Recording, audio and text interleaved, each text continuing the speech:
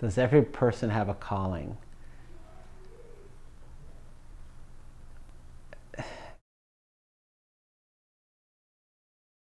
It depends on the definition of calling, right? It's sort of like because people, you know, is everyone supposed to be president or Mother Teresa or, you know, it makes me think of the past life regression thing. I kind of I, I, I joked about that earlier. You know, it's sort of like any anytime I hear a past life regression story, it's always Catherine the Great, or you know, it's never like I was Joe, you know, from Sicily in the 1500s, and I had a store.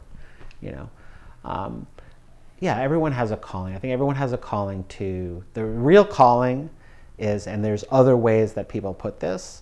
But the Buddhist way of putting it is the, the, everyone's calling is to understand the nature of suffering and that there is an answer to suffering, to end suffering, and to achieve, um, and I'll use some of the Buddhist words, it's uh, to achieve liberation. And in many Buddhist traditions, in the service of being able to help others to achieve that liberation from suffering. So then everybody has a calling. Um, and it can manifest in any sort of um, type of human or other form and any type of cultural form or, you know, it's all possible for, for anyone. And again, as I was saying in another part of the interview, it's sort of like some people have um, more opportunity than others to be uh, coming from a place of I'm going to go after that spiritual liberation, you know, and uh, sort of I have the the resources that allow me to you know take an extra yoga class or whatever it is, and then people who have the opposite of that. So what's each of their calling, I, I, I, would think, I would hope, is the same. And it might take different pathways to help each of them get there and not to get diluted. You know, like it's very easy to get diluted on the spiritual path.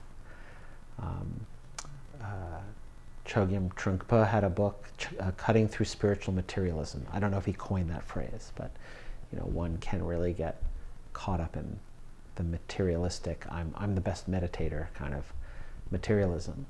And then people who are doing everything they can just to get by, you know, don't might not have that extra, that extra time and resources to be uh, go, going towards that. But there are the other ways where they can follow their calling or to achieve that liberation.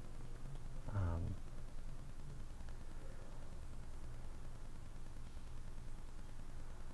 I feel like everybody has a truth.